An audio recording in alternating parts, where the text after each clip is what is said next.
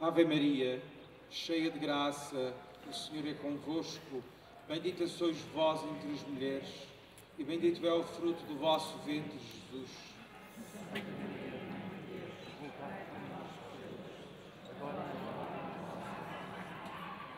Virgem das dores, rogai por nós. Virgem da compaixão. Este encontro inspirou sermões, inspirou artistas, pintores, músicos, tanta gente. E ainda hoje continua a ser motivo de inspiração para tantos homens e para tantas mulheres.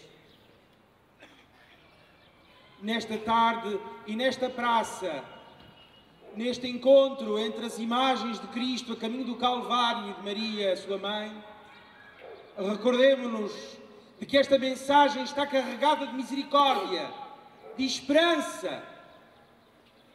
Nós perdemos a esperança num Deus que é capaz de salvar. Acreditamos num Deus feito à nossa imagem, a partir da qual nos salvamos. Com esse não vamos a lado nenhum. Gostaria, nesta tarde, de recordar as palavras do apóstolo dos gentios na sua carta aos Romanos. Quem poderá separar-nos do amor de Cristo? A tribulação, a angústia, a perseguição, a fome, a nudez, o perigo ou a espada? Mas em tudo isso saímos mais do que vencedores, graças àquele que nos amou. Lembrar neste encontro que há tantos que sofrem por não terem uma mãe como Maria no meio do sofrimento, ou de não se recordarem que há tantas, tantos filhos que se esquecem das suas próprias mães. Maria não se esqueceu do seu filho neste momento derradeiro e difícil.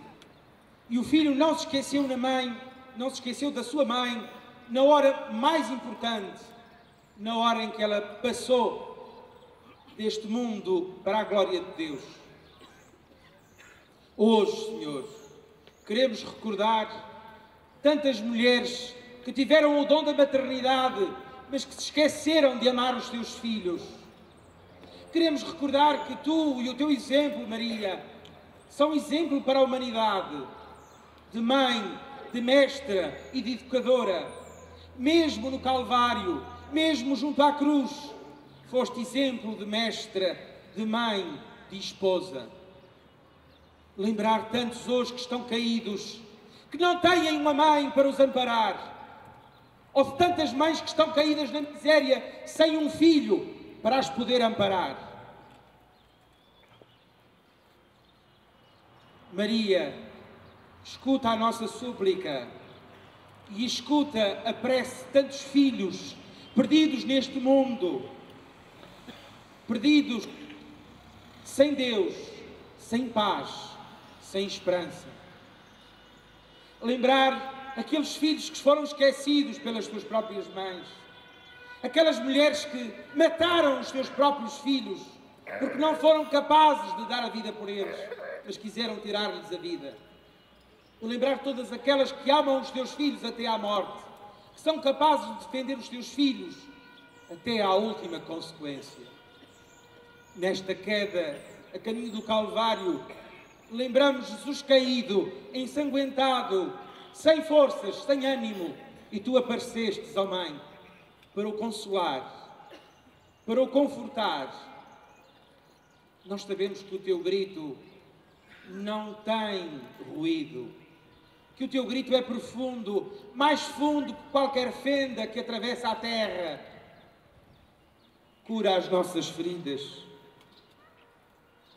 Embora por vezes distantes, queremos nos aproximar do teu Filho, a redenção, a salvação.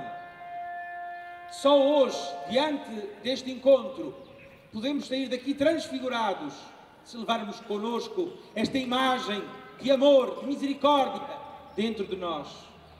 O rosto de Cristo está no nosso coração se nos deixarmos tocar gestos pela sua atitude de proximidade de afeto, de compaixão, de carinho.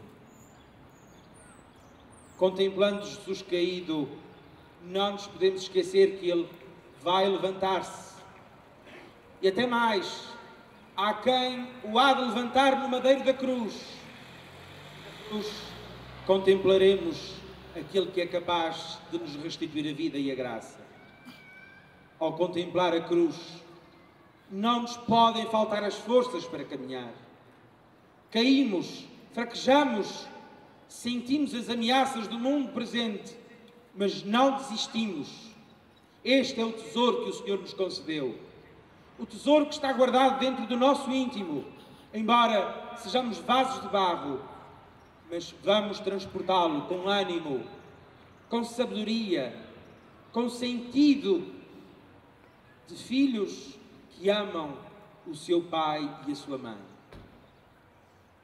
Maria, dá-nos a consolação do teu exemplo, que as tuas palavras nos inspirem quando alguém chorar ao nosso lado, quando alguém sofrer ao nosso lado, que não caiamos na indiferença, que não caiamos no desespero, mas que sintamos que o teu coração imaculado bate no nosso coração de filhos da Igreja, esposa de Cristo.